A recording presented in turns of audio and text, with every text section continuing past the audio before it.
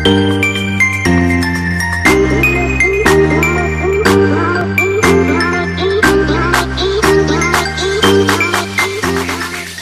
guys, this is Ohidul and you probably saw the Galaxy S9 came with some great features and new applications.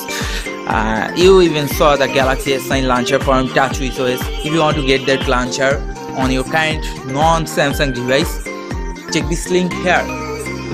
And even from there, you can get Samsung Galaxy S9 camera app and menu. But in this video, I'm showing you another Samsung Galaxy based applications. It's Samsung Internet Browser it got some great features now, content blockers and many more.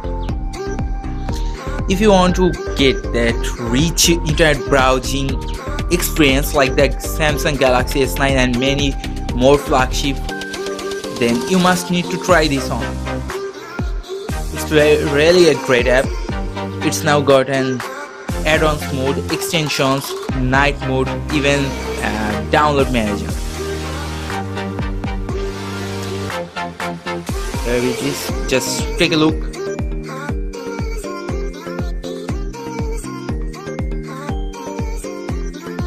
It's fast.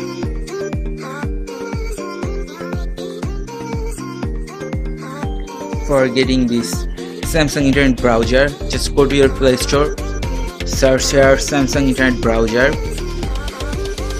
and this is it. Just go there, you have this install button and this browser will be automatically installed in your phone without rooting your phone or anything. Don't install this beta version. It's just beta so you might have some bug.